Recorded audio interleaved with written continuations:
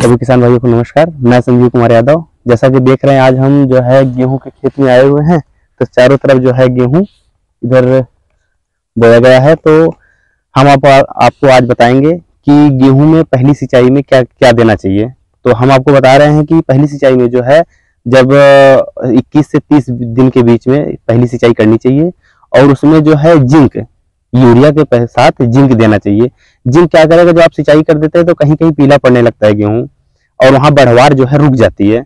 तो हम ये सजेशन आपको देंगे कि यूरिया के साथ जो है आप पाँच किलो जिंक प्रति एकड़, पाँच किलो जिंक प्रति एकड़ दीजिए। इससे क्या होगा कि कहीं भी पीला नहीं दिखेगा आपको और गेहूँ में ग्रोथ अच्छी होगी। तो आप तैतीस परसेंट वाला जिंक यूज़ करिएगा। इससे पहले इससे नीचे नहीं आता है तो बोल देंगे कि आप तैतीस परसेंट वाला जिंक हमें चाहिए।